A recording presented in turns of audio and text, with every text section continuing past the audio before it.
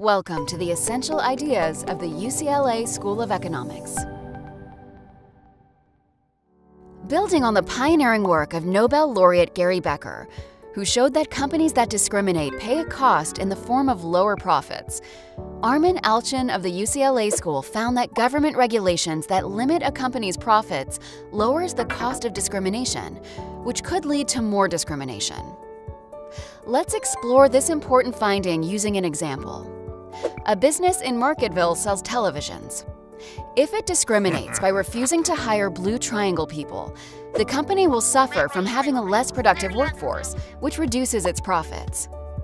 The same is true if the television company refuses to sell TVs to Blue Triangle people. It will make less profit.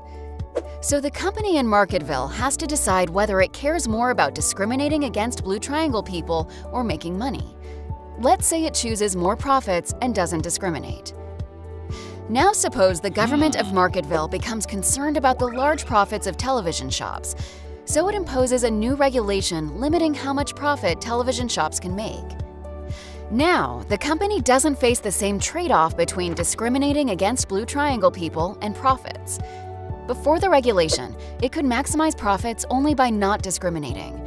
But now, because the regulation limits profits, it might not lose any profits by discriminating.